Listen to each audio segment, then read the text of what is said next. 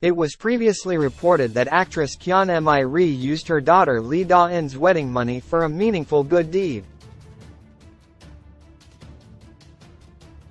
On April 10 KST, it was reported that Kyeon Mi-ri will donate the money from Lee Seung-gi and her daughter Da-in's wedding as a donation for disabled and vulnerable children.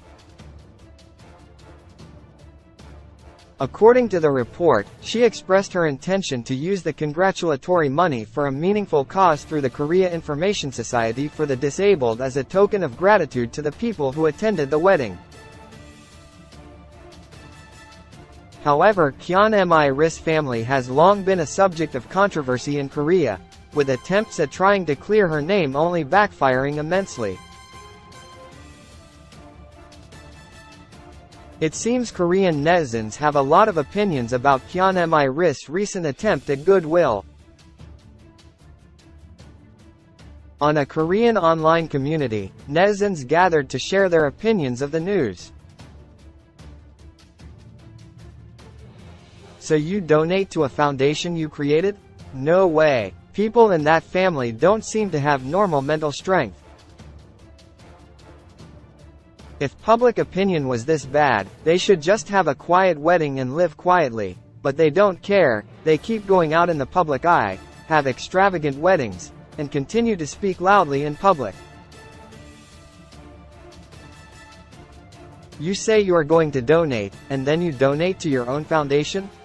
It's a real comedy. The people in this family can't be reasoned with. Goodbye Lee Seung-gi. Instead of just living quietly, she's thinking her children, son-in-law, and grandchildren will be cursed at for generations, so she's trying to clean up her image. Aren't you supposed to live with atonement instead of reciprocation? Donating with other people's money ha ha ha ha. It's not like they said they won't accept cash gifts and will instead be making a donation with their own money ha ha ha ha ha they're so shameless. They said it was going to be a private wedding, and it ended up being a completely open to everyone. I hate seeing all of those families on TV. How do you harm others and live shamelessly like this? If you don't want to be suspicious, you should donate to an unrelated foundation.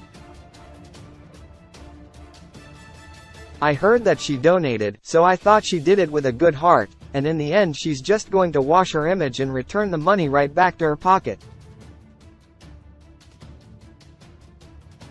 However, it is worth noting that Lee Jiam-ju, CEO of Symbiosis Sympathy, was displeased over the allegations that actress Kyeon Mi-ri owns the foundation. Representative Lee has stated, We have gratefully and thankfully received support from Ms. Kyan M.I. But the foundation is not hers.